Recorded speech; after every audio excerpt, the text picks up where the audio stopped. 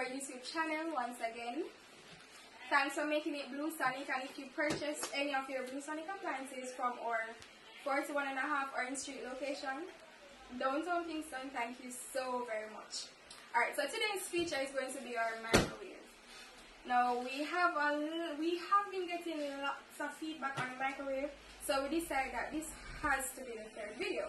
Alright, so when you purchase your microwave, it comes just like this.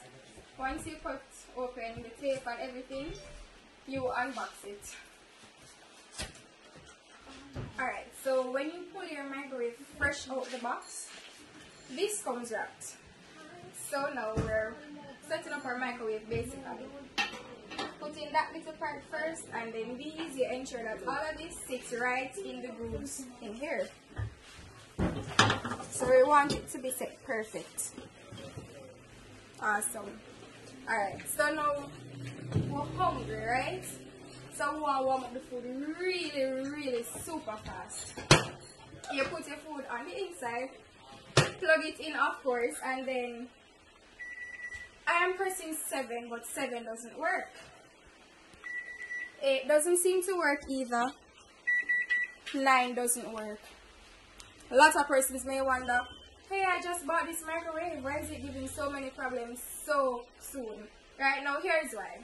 7, 8, and 9 doesn't work unless it's on the timer option. Now, say you want to give your food 7 minutes, which you shouldn't. No one warms food that long, but say, you know, you really want your food super, super hot. And the best thing about these microwaves is that they heat up really fast, so you get the job done in record time.